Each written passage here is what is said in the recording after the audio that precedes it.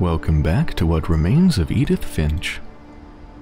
We've just exited out of Walter's little place in the ground and come out to the train tracks. Now that there's only one of us left, or maybe two, I thought it was time I heard the stories for myself and found out what happened to everyone else. But now I'm worried the stories themselves might be the problem. Maybe we believed so much in a family curse, we made it real.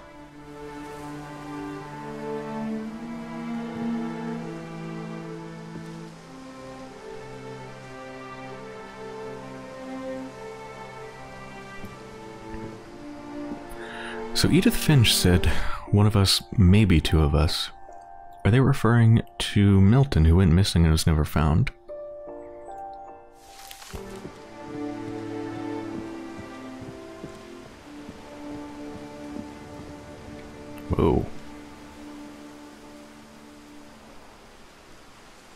What is that? Blinking red light. Is it a... maybe a buoy kind of dashed on the rocks? I don't know, it almost seems like there's a wreckage there, though. Doesn't really look like a buoy.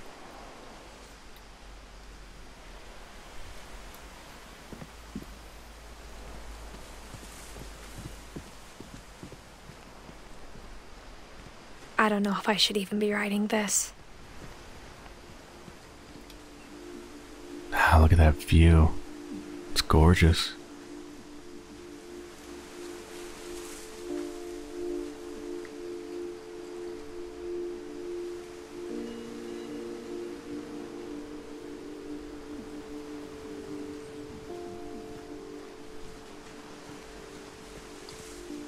Why is there a chair in the tree?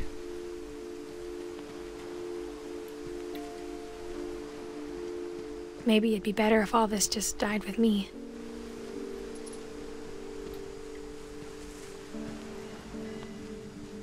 But I thought you should know about your family.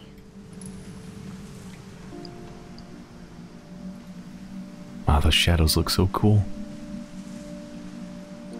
I thought you should know about your family. Who's you? Who who is um who's Edith writing this for? And the history you're a part of.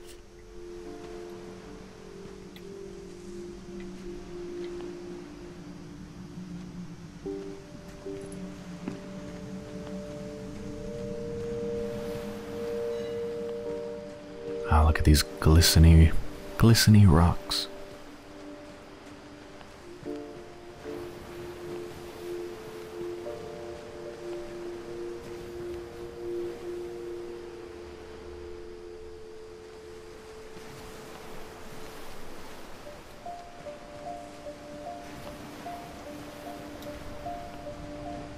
Though to be honest, I feel as lost as you probably do right now.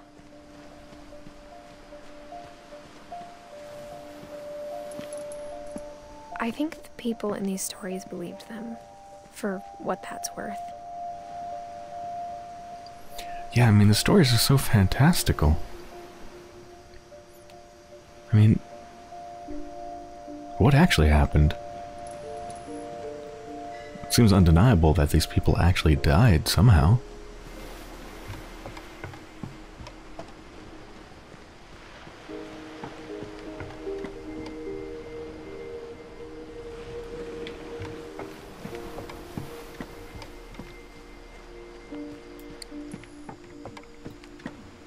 Like, was Walter killed by a train? Their memorial seems to be there next to the train tracks, but I don't know.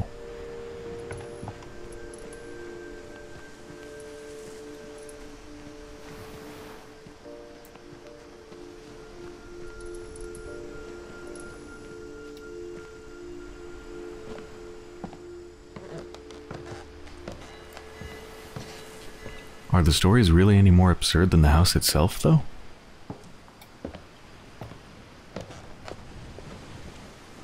And when you look at the house, had that history of imagination and stubbornness and madness. any of it seems possible.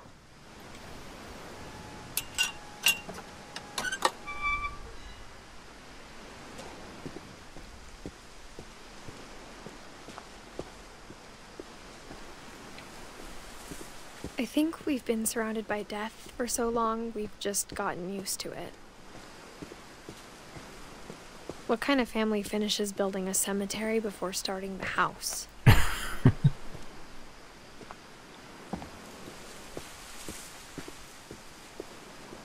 it's embarrassing for me to admit this, but.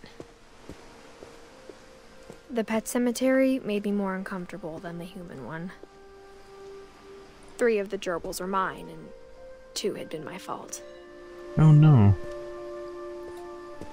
oh my god, there's all the birds, at least most of them birds. Zerpy, Lurpy, Furpy, Chirpy, Burpy, Derpy, Derpy Jr.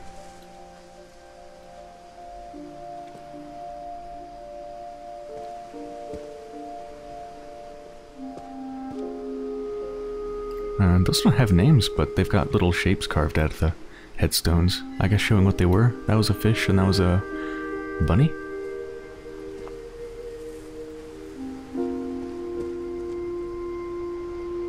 Kitty cat, bunny, fish.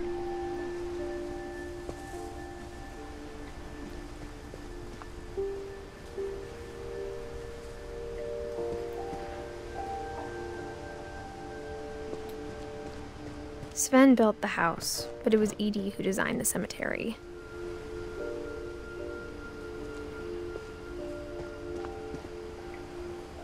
Whoa. Oh my god, that is so cool.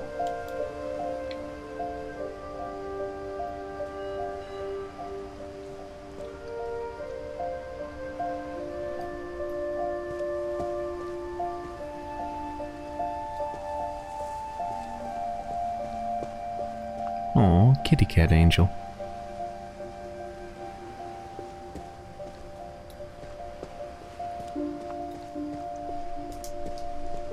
I'm sure Odin's monument had been Edie's idea. My mom was always trying to move on, but for Edie, the past never went away.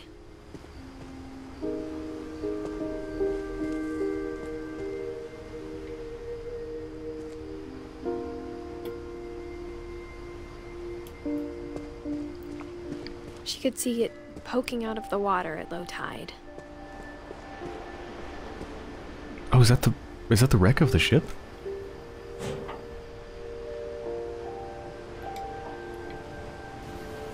Edie said she dreamed about the old house every night. Oh, it's the old house, the one that went under the water.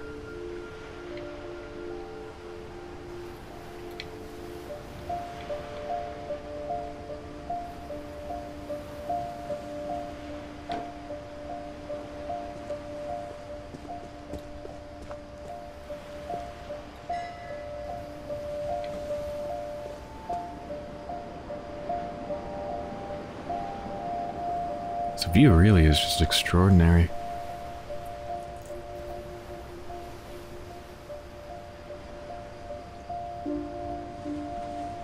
Yeah, so this island is fairly large. You can see there's a bunch of houses over there. And over there.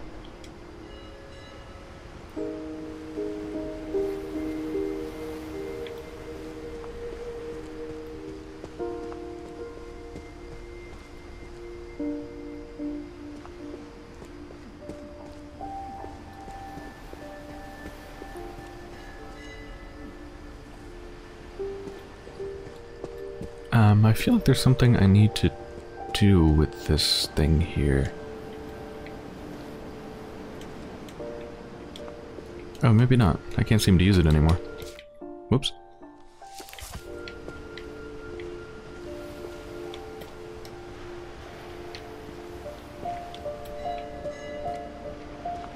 Where do I go from here? Do I go back?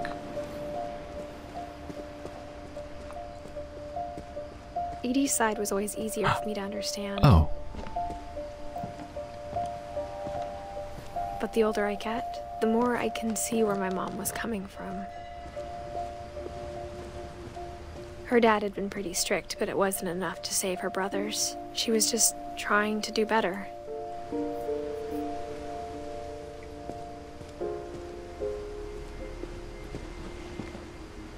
She lost two of her brothers, just like I did.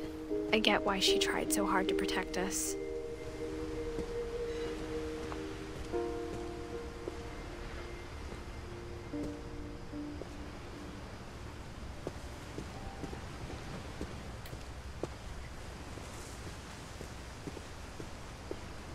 There's so many things I wish I could ask my mom now.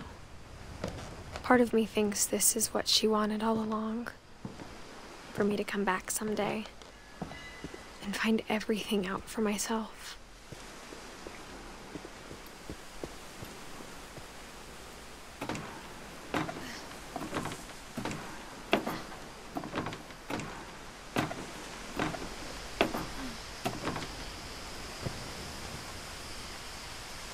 But looking back on it now,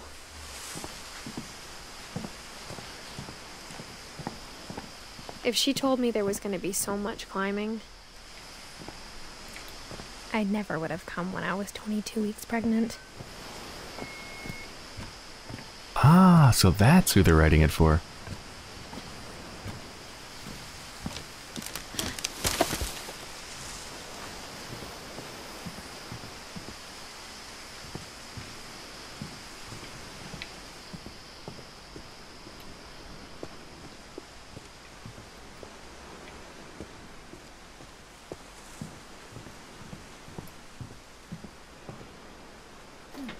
I never met Grandpa Sam, but I think he and my mom had a lot in common.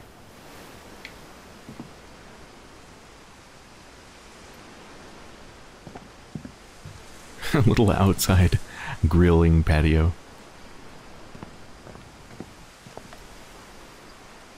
Are those... Let's see if I can get closer. Are those milk carton nests? Oh, they are. Huh. Or, oh no, they're not nests. They're feeders.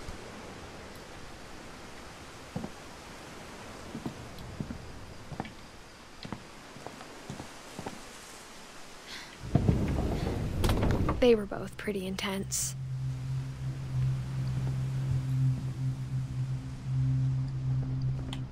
Wow, yeah. My god. War trophies, bear rugs, and guns, and America flags.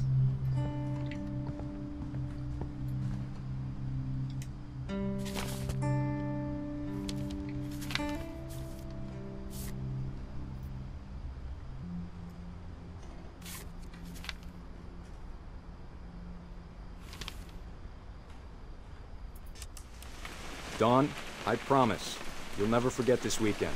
Yes, sir. These memories are gonna last a lifetime. Hmm? Am I gonna have to shoot anything? It's a hunting trip, Dawn. Shooting is strongly encouraged.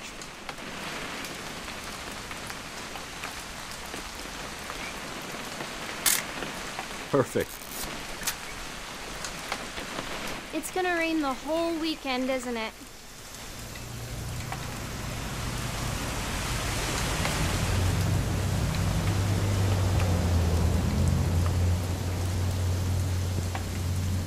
Never forget this weekend, Dad.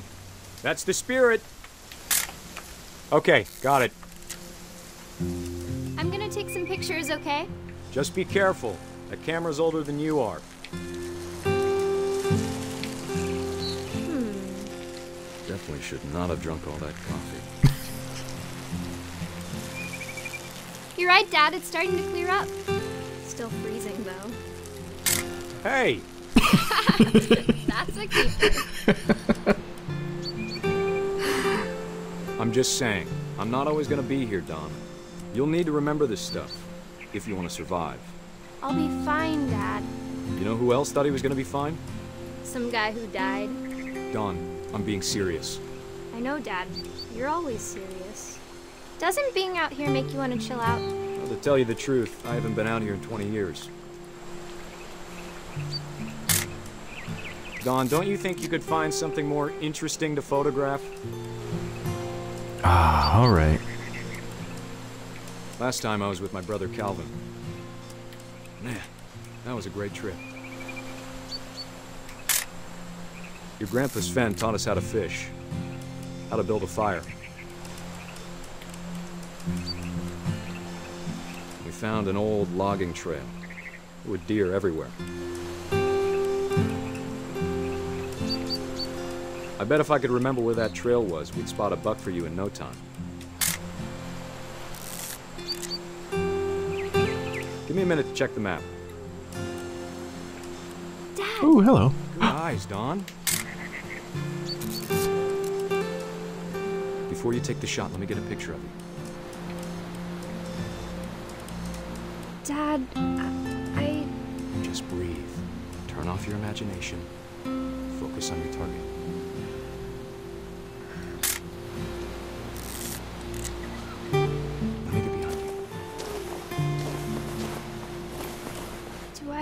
Do this? Dawn, you don't have to do anything. But if you want to survive, you'll need to be strong. Yes, killing animals makes you strong. Now keep yourself squared up, elbows down, like we practiced. Whenever you're ready.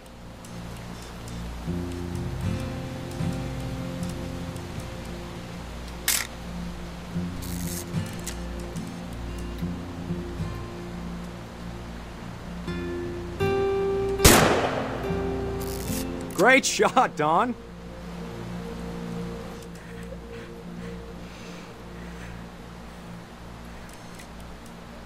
Oh yeah, great picture. I'm proud of you, Dawn. Always remember that, okay? Oh, I'm in control of them now. Oh, what Sorry, a Dawn. Just wonderful family moment.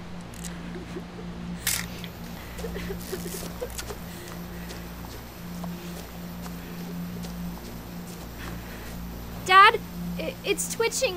I think That's it's totally normal, Dawn. Just focus on the camera. Try not to think about. Dad!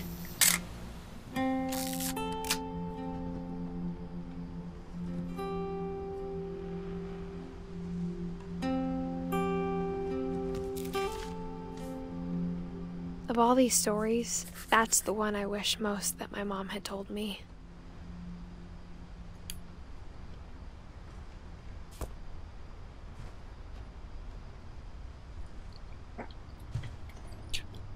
That was really disturbing. Sam spent his life shooting photos, but mom said he got nervous being in front of the camera. I guess we're all afraid of something.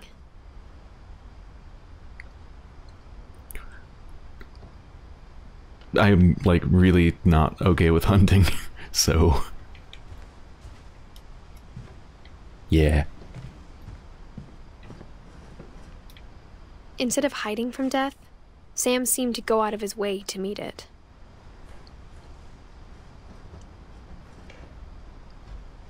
Yes, and pose dead bodies and take pictures with them next to your crying daughter. Very nice, Sam. Very nice.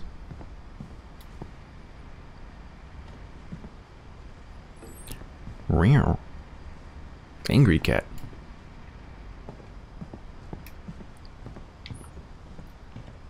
I don't even want to explore this room. I just want to get the hell out of here.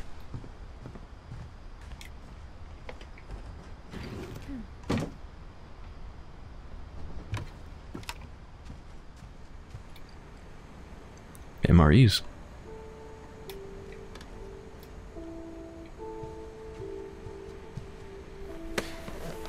After Sam died, my mom and Edie got really close. They'd both lost a lot. Pinch control.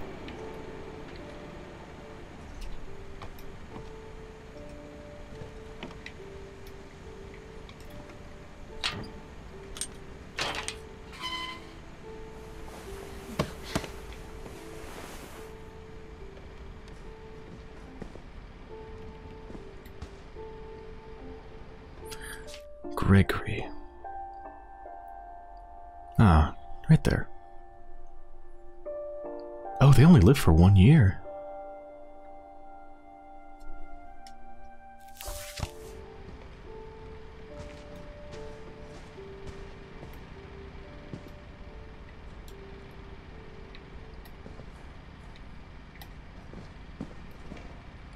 Dawn Gus. I can't imagine my mom ever writing poetry and yet.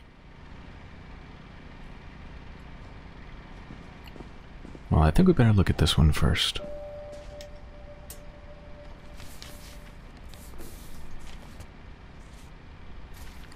Divorce contract. Hold on. No! I want to read the divorce contract.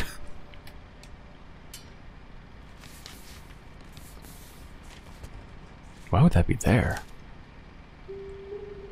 Um, not much to read there, I guess. So it's between Kay Carlisle and Sam Finch. I did not mean to put it back a second time, I'm sorry.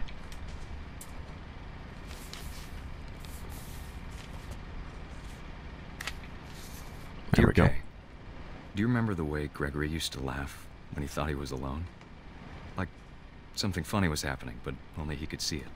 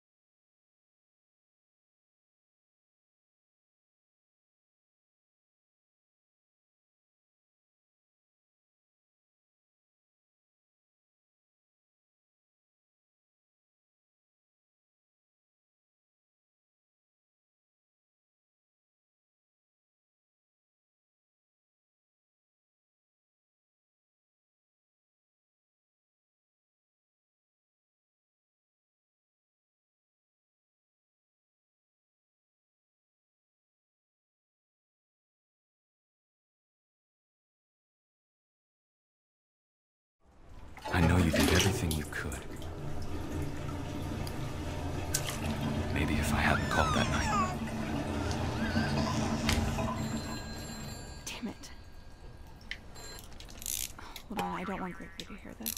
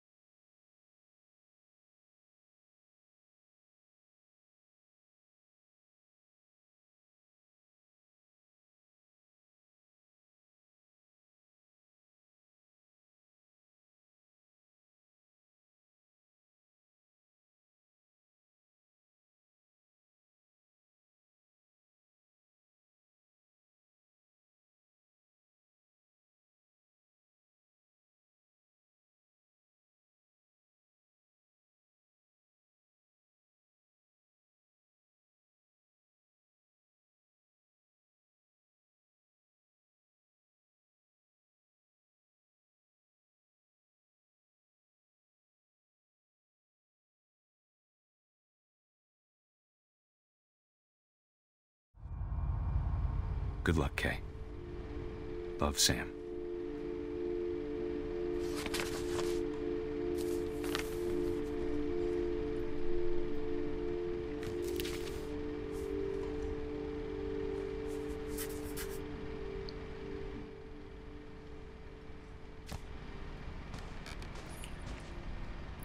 Such joy next to such sadness. So they drowned.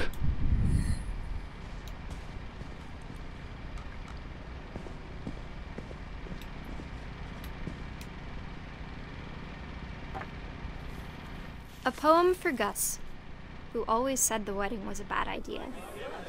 Our father never hit us kids, at least not very hard, before the day my brother said with teenage disregard that he'd be dead before he'd see a wedding in our yard.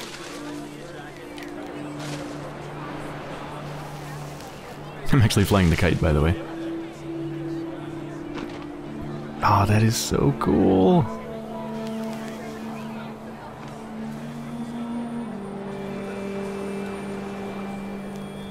Father made him come, of course, but Gus stood far apart, just flew his kite and bottled up the storm inside his heart.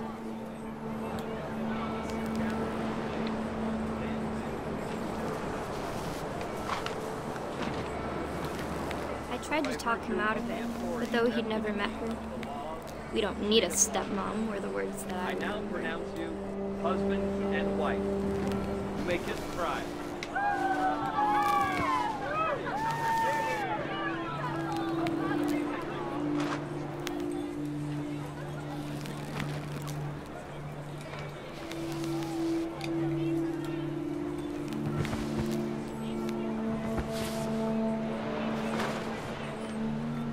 Resilient.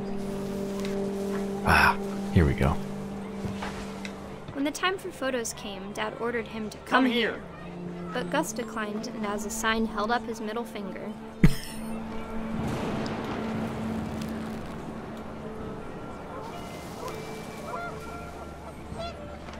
the wind picked up, and panicked geese appeared and quickly went.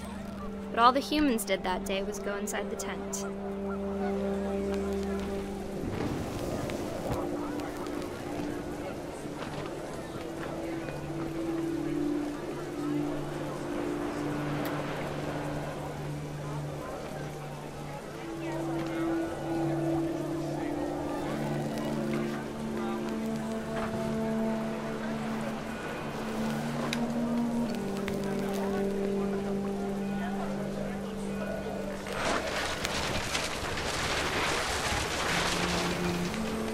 Rain came down in buckets then, but no one seemed afraid that nature might destroy the tent our dad had crudely made.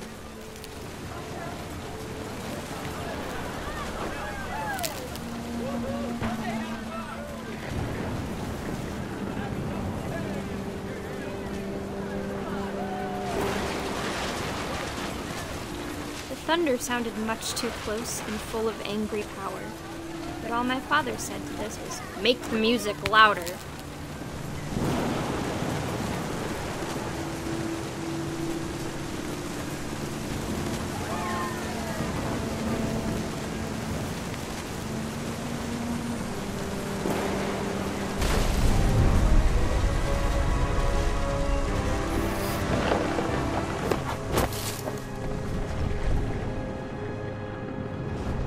Wish that I could truly say I thought about you on that day. Out there on the beach alone, just you, the wind, the sea, and foam. But I didn't. Until we found you.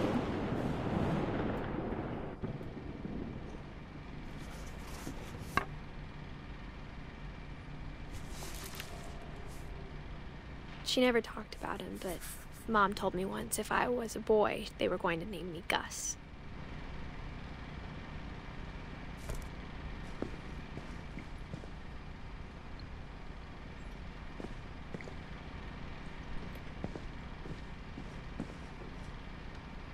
Evacuation plan for the Finch household.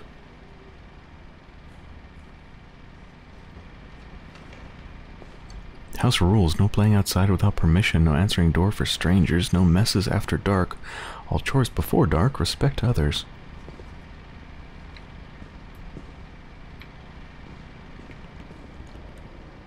Raise flag, breakfast, quiet time, duties, routine. Oh, a little climbing wall. My mom moved up to the loft after her brothers died. I have to go up there, right? Yeah. That's the sealed At door. the time, it was as far away as she could get.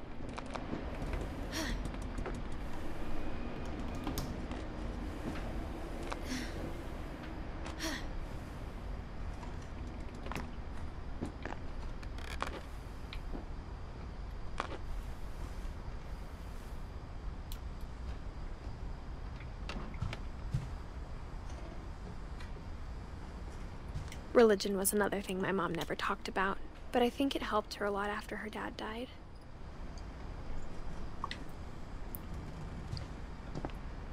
Oh, look at this old computer.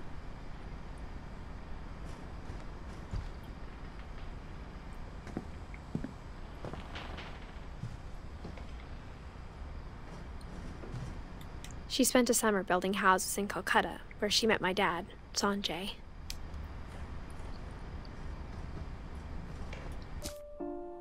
Ah, so... So Dawn and Sanjay, they're the... The, uh, the parents.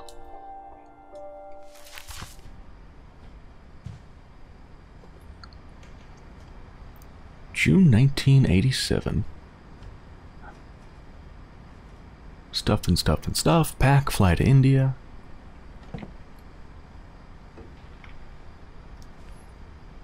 Religion, science, math, history.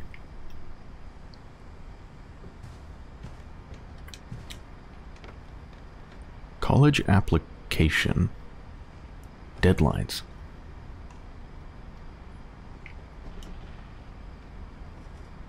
Oh, high school ID?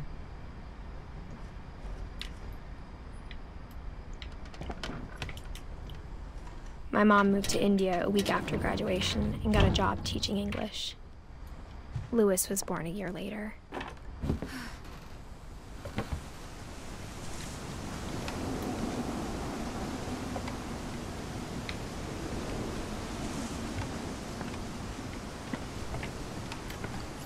Lewis was. Ah, right. Them. The one, not the person who. I think it was, what was it, about 10 days before they died? That, um. Eddie was drawing a portrait of them? Painting a portrait of them? When my dad died, I don't think mom knew where else to go. I'm sure Edie was happy to have her back. And to see kids in the house again.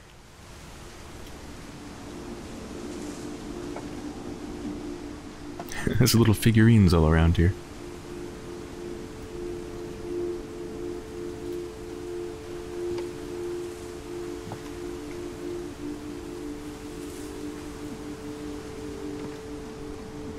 Some herbs, thyme, sage, basil, mint.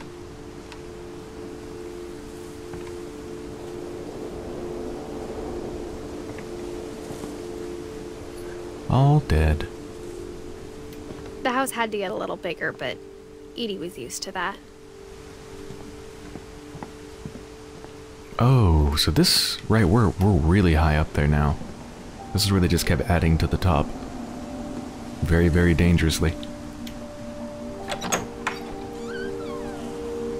And for a while, things were good.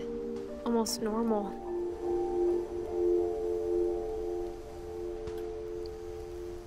Great job. Our family history, fact or fiction? Good question. A little like preschool teaching room. Lewis rules. But it didn't last.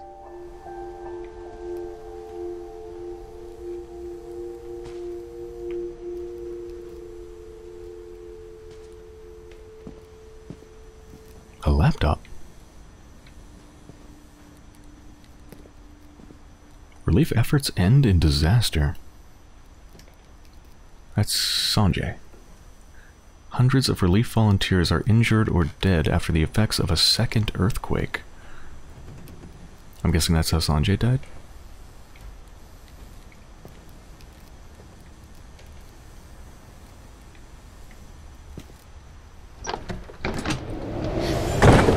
The beginning of the end was Milton's 10th birthday, when Edie gave him a castle.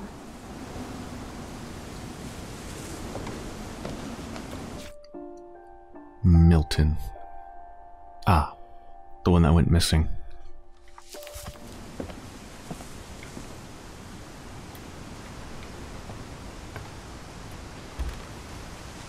After Milton disappeared, the only thing he left behind was a room full of paintings.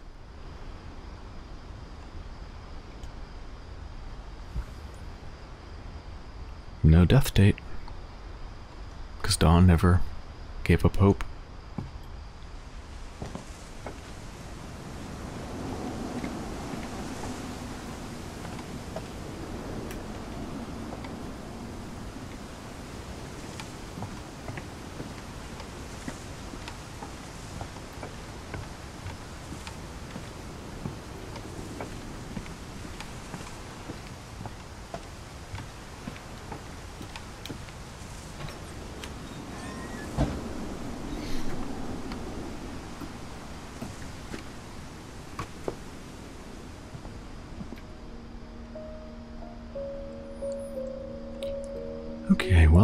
I'm going to end this episode here.